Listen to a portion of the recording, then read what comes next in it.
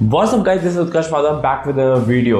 तो आज हम बात करेंगे डज एग कॉजेज हीट क्या एग से बॉडी हीट जनरेट होती है? क्या उससे एक्ने की प्रॉब्लम होती है?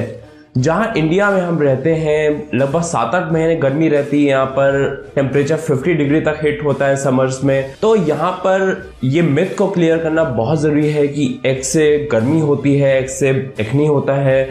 मैं आज इस टॉपिक पर बात करने की आपसे कोशिश करूँगा। उससे पहले अगर आपने मेरे चैनल को अभी तक सब्सक्राइब नहीं करा तो नीचे सब्सक्राइब बटन पर क्लिक करके आप सब्सक्राइब कर सकते हैं। इसका फ़ायदा ये होगा कि जब भी मेरा नेक्स्ट वीडियो आएगा तो आप लोगों को पता लग जाया करेगा। और जिन लोगों ने सब्सक्राइब कर दिया है, वो बेल बटन पर क्लिक करना ना भूलें। चलिए शुरू करते हैं दोस्तों। तो इंडिया में एक बहुत बड़ी मिथ है कि एग से गर्मी होती है एग से बॉडी हीट जनरेट होती है। मैं मानता हूँ कि बॉडी हीट जनरेट होती है, पर वो होल एग में होती है।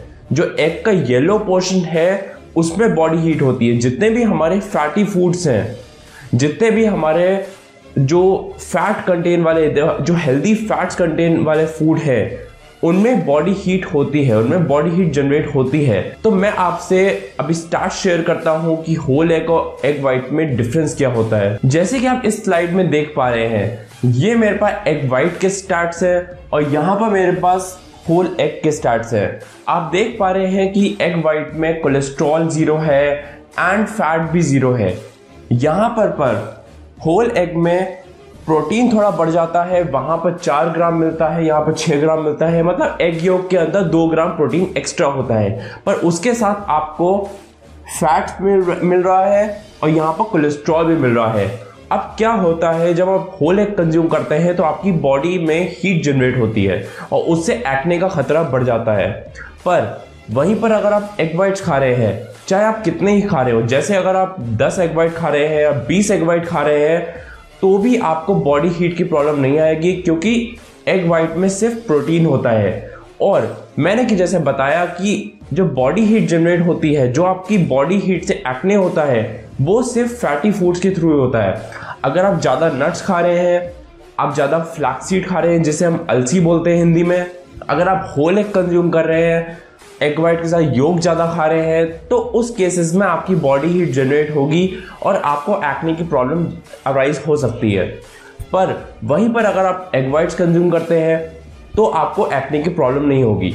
पर जैसे कि मैंने बता रखा है कि ज़्यादा आपकी, ज़्यादा फैट आपकी बॉडी के लिए सही नहीं है। अगर आप ज़्यादा भी सेचुरेटेड फैट कंज्यूम कर रहे हैं 15 से 20 ग्राम की लिमिट क्रॉस कर रहे हैं तो आपको एक्ने की प्रॉब्लम डेफिनेटली होगी। तो लोग समझते हैं ज़्यादा एग कंज्यूम करने से आपको एक्ने की प्रॉब्लम होगी। नहीं, ऐसा नहीं है। अगर आप दो या तीन होल एग्स कंज्यूम कर रहे हैं विद योग तो आपको एक्ने की प्रॉब्लम नहीं होगी। पर कंडीशन उसके साथ ये है कि जो बाकी दिन की आपका न्यूट्रिशन है, वो सही हो।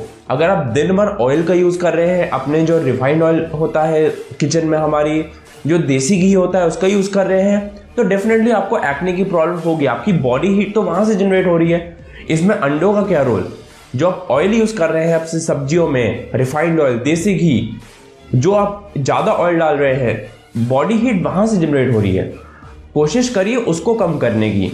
यहाँ पर तो दो या तीन होल एग मैंने बोल ही रखा है। दो या तीन होल एग कंज्यूम कर सकते हैं। एग जितने चाहें आपकी गोल के हिसाब से आप यूज़ कर सकते हैं। और जो नट्स की सर्विंग है, मैंने बता रखा है कि दो सर्विंग नट्स से ऊपर आपको नहीं लेने और नट्स में कौन से कौन से लेने हैं? या तो या तो आप ले सकते हैं आमंड्स बादाम, काजू, और वहाँ पर आ गए फ्लैक्सीड का एक चम्मच ले सकते हैं। तो आप वो वह ज़्यादा नहीं ले रहे। आप दो सर्विंग नट्स ले रहे हैं। दो हैंडफुल पूरे दिन में। नियर बीस आमंड्स खा रहे हैं। सात से आठ वॉलनट के कर्नल्स खा रहे हैं तो उसमें प्रॉब्लम नहीं आएगी। बात यह आती है, जो आपके घर में ऑयल यूज़ होता है मेन तो बॉडी हीट आपकी वहाँ से जनरेट हो रही है तो उसको कम करने की कोशिश करिए। एग से इतनी बॉडी हीट जनरेट नहीं होती। अगर आप ज़्यादा egg egg whole eggs consume कर रहे हैं, दिन में सात से आठ, दस होल एग कंज्यूम कर रहे हैं तो डेफिनेटली वहाँ आपकी बॉडी में इतना ज़्यादा फैट जा रहा है। और फैट से होता क्या है? जब आप फैट कंज्यूम करते हैं बॉडी में तो आपके जो पोर्स होते हैं पिंपल का कारण क्या होता है? पिंपल का जो रीजन है मेन रीजन वो होता है आपके जो पोर्स होते हैं बॉडी में, जो आपकी फेस पर पोर्स होते हैं, जहाँ से पसीना बाहर आता है, वो ब्लॉक हो जाते हैं। और जब वो पोर्स ब्लॉक हो जाते हैं तो डेफिनेटली वहाँ पर एक्सेस ऑयल जमकर आपको एक्ने की प्रॉब्लम आती है।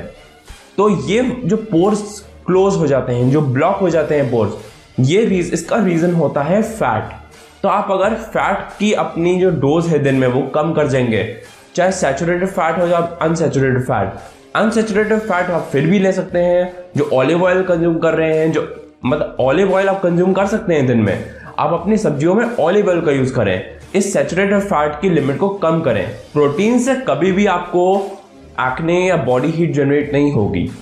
मेन जो बॉडी हीट जनरेट होती है, जो बाहर से मीट खाते हैं आप लोग, वो उसमें कितना ऑयल डाला होता है उन लोगों ने, आपको अंदाज़ा तक नहीं है। जो लोग बाहर से चिकन खाते हैं, या जो लोग चिकन ब्रेस्ट को ना लेकर आप होल चिकन को कंज्यूम करते हैं, उससे बॉडी हीट जनरेट होती है। उससे एक्ने आपकी बॉडी में जनरेट होते हैं, उससे एक्ने की प्रॉब्लम अराइज होती है। तो उन चीज़ों को आप कम करिए। जितने भी फैटी फूड्स हैं, चाहे जंक फ़ूड तो आपको बिल्कुल बंद कर देना है। अगर आपको एक्ने की प्रॉब्लम है तो junk food is a main cause of acne junk food को बिल्कुल बंद करें। और जो अपनी फैट की लिमिट है, जो आप फैट कंज्यूम करते हैं, उस पर थोड़ी नज़र रखिए, उस पर थोड़ा मॉनिटर करिए कि आप कितना फैट कंज्यूम कर रहे हैं। ज़्यादा फैटी फ़ूड तो आप कंज्यूम नहीं कर रहे। तो उस पर अगर आप लिमिट रखेंगे, उस पर आप टैप करेंगे तो आपकी एक्ने की प्रॉब्लम डेफिनेटली कम हो जाएगी। आपकी बॉडी के पोर्स ब्लॉक नहीं होंगे और एक्ने की प्रॉब्लम आपको नहीं होगी। आपकी बॉडी में हीट जनरेट नहीं होगी। अब बात आती है, क्या एक्सरसाइज से आपको एक्ने होती है? यहाँ पर मैं दूसरा टॉपिक भी कवर कर दे रहा हूँ कि अगर एक्सरसाइज करते हैं आप तो आपकी जो बॉडी में एक्सेस हीट होती है, वो बाहर आ जाती है, पसीने के फॉर्म में।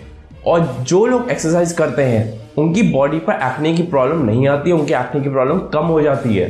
जितनी ज़्यादा होनी है वो कम हो जाती है। क्योंकि उनकी बॉडी में जो एक्सेस हीट है जो उन्होंने एक्सेस हीट कर, जो एक्सेस फैट कंज्यूम करा है दिन में वो सारा वो जिम में जाके बर्न कर देते हैं। तो उनको एक्ने की प्रॉब्लम नहीं आएगी उनकी बॉडी में बॉडी हीट जनरेट नहीं होगी। तो इस मिथ से बाहर निकलिए दोस्तों कि बॉडी हीट जिम जाने से जनरेट होती है। बल्कि मैं बोलूँ कि बॉडी हीट जिम जाने से कम होती है। तो जिम ज़रूर जाए। जिन्हें एक्ने की प्रॉब्लम है, वो जिम को बिल्कुल भी स्किप ना करें, क्योंकि उनसे मतलब जिम जाना ज़रूरी नहीं है। कोई भी फ़िज़िकल एक्टिविटी आप करें, उसमें आपकी बॉडी हीट बाहर आती है। अब आप जितना फैट एक्सेस कंज्यूम कर रहा होगा दिन में, वो बर्न होता है। तो ये थी मेरी आज की इन्फॉर्मेशन कि एग वाइट से बॉडी हीट जनरेट नहीं होती। अगर आप पूरे होल एग कंज्यूम कर रहे हैं तो उससे बॉडी हीट ज़रूर जनरेट होती है। जितने भी फैटी फूड्स हैं, जितने भी नट्स हैं, उसको आप लिमिट करें। उससे बॉडी हीट जनरेट होती है अगर आप ज़्यादा एक्सेस अमाउंट में कंज्यूम करते हैं। अगर आप किसी भी चीज़ का एक्सेस करेंगे तो उसमें नुकसान होगा बॉडी को, उसके फ़ायदे कम हो जाते हैं, उसका नुकसान ज़्यादा होता है। तो हर चीज़ की एक लिमिट तय करिए, दो सर्विंग नट्स की हो गई दिन में। दो से, दो मैक्सिमम दो होल एग कंज्यूम कर लिए, एक चम्मच फ्लैक्स सीड का कंज्यूम कर लिया। तो इससे ऊपर, इस लिमिट से ऊपर आप ना जाइए। तो ये थी मेरी आज की information does egg causes body heat does egg causes acne तो अगर आपको वीडियो अच्छी लगी तो do give it a thumbs up और अभी तक अगर आपने मेरे चैनल को सब्सक्राइब नहीं करा तो सब्सक्राइब बटन पर क्लिक करिए, बिल्कुल फ्री है। इसका फ़ायदा ये होगा कि जब भी मेरा नेक्स्ट वीडियो आएगा तो आप लोगों को पता लग जाया करेगा। और जिन लोगों ने सब्सक्राइब कर दिया है थैंक यू वेरी मच और बेल बटन पर क्लिक करना ना भूलिए। इससे आपको नोटिफिकेशन रेगुलरली मिलती रहेगी। So this is Utkarsh Wadhwa signing off for today bye bye